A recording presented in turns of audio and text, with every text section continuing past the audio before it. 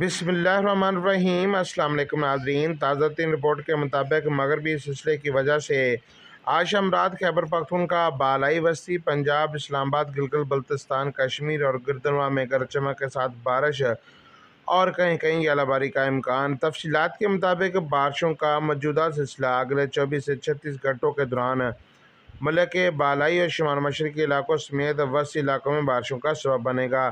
جنوبی پنجاب، بلوچستان اور سندھ کے بیشتر علاقوں میں موسم گرم اور خشک رہنے اور صرف چاند کے مقامات پر لوکل ڈیولپمنٹ سے بارش اور تیز آندھی کا امکان۔ ہے تاہم، آنے والے چوبیس گھنٹوں کے دوران مری گلیات اسلام آباد راول پنڈی اٹک، چکوال جیلم منڈی بہودین گجرات، گجرانوالا، حافظ آباد، سیالکوٹ، ناروا، لاہور، قصور، اوکاڑا، ٹوبا، ٹیک سنگھ، فیصل آباد، جھانگ، خوشاب، سرگودا، میاں والی، ڈیرہ غازی خان، بھکر، لیا نورپور تھل میں کہیں کہیں بارش کا امکان، جبکہ دوسری جانب خیبر پختونخوا کے بیشتر علاقوں میں مطلع جزوی ابر آلود رہنے، ڈیرہ اسماعیل خان، لکی مروت، بنو کوہاٹ، وزیرستان، کرک پورم باجوڑ، محمد خیبر، پشاور، چارسدہ نوشہرہ کوستانگ شانگلہ، بنیر، ہری پور سمیت بہت سے علاقوں میں بارش، جبکہ کشمیر اور گلگت بلتستان میں تیز بارش اور برفباری کا بھی امکان۔ اپنے علاقے کا موسم جاننے کے لیے شہر کا نام کمنٹ کریں۔ حاضر ہوں گے نئی رپورٹ کے ساتھ۔ اللہ حافظ۔